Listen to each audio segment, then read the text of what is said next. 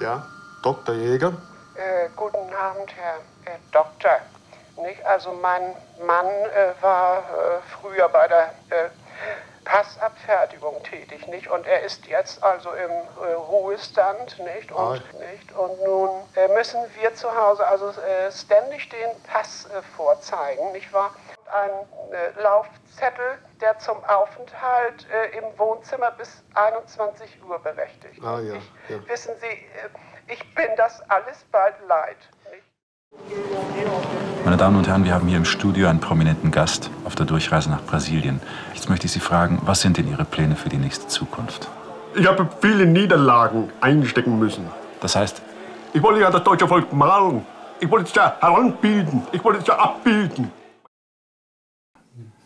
Ja, also, äh, aber es war wirklich so, dass man dann nach, wenn man so zwei Wochen mit ihm zusammen war, fing man an, ein bisschen so zu hören und so zu denken wie er.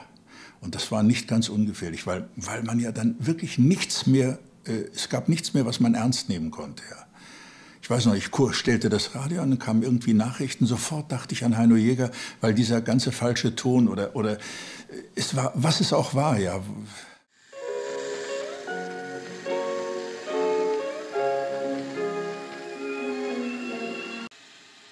Im Grunde genommen gibt es bald keine Landschaft mehr oder die Meere kippen um. Das würde ich, wenn ich da noch leben würde, in 100 Jahren dann gerne malen. Und was mich verwunderte auf seinen Schreibtisch, er hat ja sehr saubere, große Zeichnungen gemacht, ohne einen Flecken. Und auf den Schreibtisch, also sein Arbeitstisch, da war auch mit Nägeln eine Speckschwarte drauf genagelt und eine halbe Leberwurst und so edlem weißen Papier, wie er die in der Dreckbude anfertigen konnte.